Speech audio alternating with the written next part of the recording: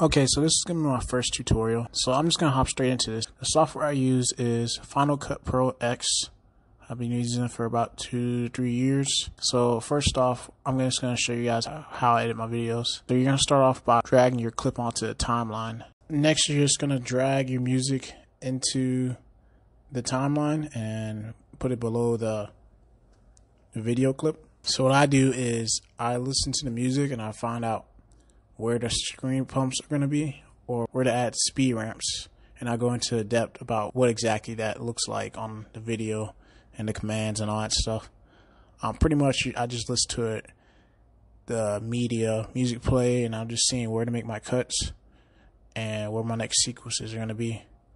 Um, so right here, this is where I'm going to make a speed ramp, which can be easily done by pressing Command B. So I know I didn't show you guys a lot, but pretty much right here, you do the speed ramps enough, and like I said, since the video clip's already in slow motion, um, you just, you go from fast. The video is already just going slow, so it goes fast to slow to fast to slow, and that's really good because if you have a song that's high tempo, there's like the words are going fast and there's like a little spacings and a flow in the song. It helps flow with the music, and I'll show you guys a quick example of one of my videos with speed ramps in it. Sushi rolls, bet my shorty pay for it. Sushi rolls, bet my shorty pay for it. In my zone, bottle service up at home. Bouncer kick this out, we hit the box with all the bros. All right, next, I'm just gonna show you guys a quick flow of uh, how to do a flicker effect, which is good because sometimes songs will have a little flicker sound, and I'll show you what that looks like. On the road, riding with the top down, yeah. I'm with my shorty, she gon' drop on the road, riding with the top down, yeah. You first you're gonna just start. You listen to music, and you'll see where the song starts making this little sequence of noises and you'll start cutting it up. So after you're done cutting it up, you're then gonna what I do is I go in there and I I block out certain clips in a in a pattern so that way when the playback head goes back over it, it ends up making a flicker clip, uh, flickering clip. And here's what it looks like. Lawrence parents out of town, so she gon' call me daddy. Used to fuck with Patty.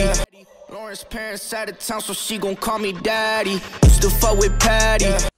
Alright, you all. Um, I'm gonna show you guys part two of this video. If you, I know this wasn't really in depth or really planned out at all. This, like I said, this is my first one, and I'm really just honestly recording off my phone for the audio, and then just sending it to myself and put it onto timeline as we speak.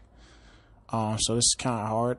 Um, like I said, I know this is just showing you guys a basic idea of what I end up doing. Um, a lot of these videos take about three to five hours to edit, maybe longer, maybe eight.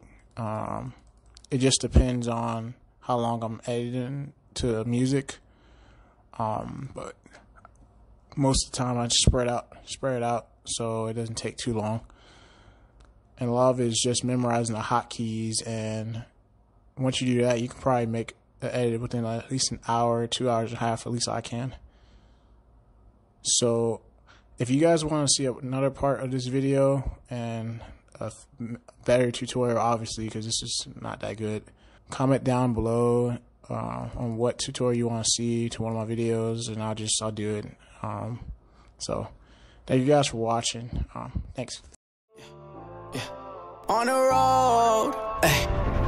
Riding with the top down, yeah I'm with my shorty, she gon' drop down, yeah I'm on a high, I'm feeling way up, yeah I'm in that new fit looking laced up, yeah some people probably acting fake right now. We could give a fuck about what